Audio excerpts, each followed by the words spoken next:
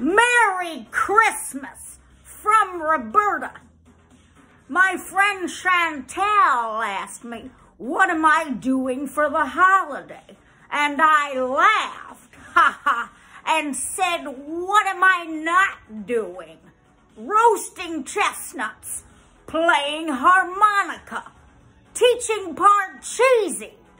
Tis the season.